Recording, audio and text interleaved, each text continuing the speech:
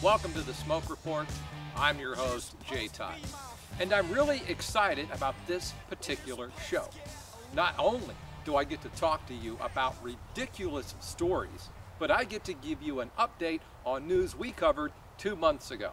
Mm-hmm. Anyone remember those graphic ads that the FDA wanted to put on cigarette packages showing the diseased hearts and lungs and cadavers? And remember, when I stood right here on this spot and said, well, not this particular spot, but a very similar spot in front of the same camera, and I said to you all that the ads on cigarette packs showing these grotesque images were the equivalent of putting a picture of a diseased kidney on a whiskey bottle or a diseased heart on a fast food burger wrapper.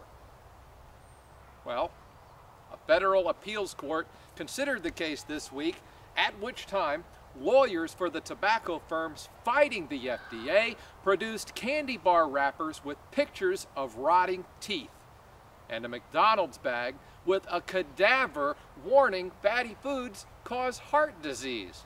Uh-huh.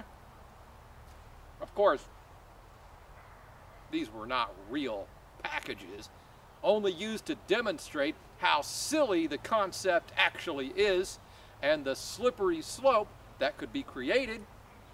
Point made, as two of the three judges asked the attorneys for the FDA where such warnings would stop.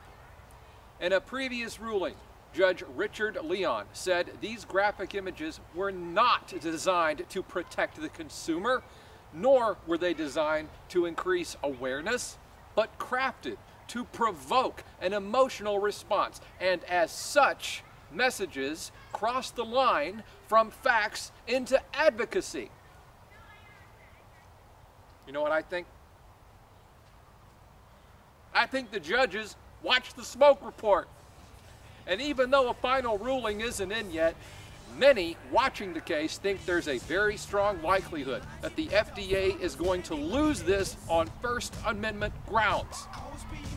That won't just be a victory for smokers, my friends, but for common sense everywhere. We'll be right back.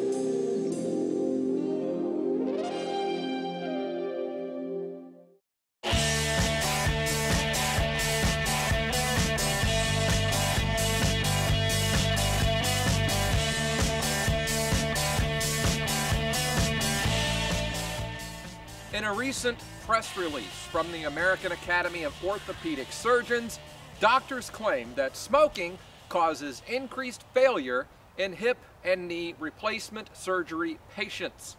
They say that tobacco and nicotine impair the body's ability to heal bones and wounds. And while I won't argue the point with the doctors, I do wonder if they stopped to consider how many hips and knees failed due to the increased stress put upon them of having to walk 500 feet down a dark alley to a designated smoking area. Just thinking out loud here. Mm. And finally, I know we all get sick to hell of hearing about smoking bans in the Western world, but consider a story out of Singapore where it is illegal to chew gum because people don't dispose of it properly.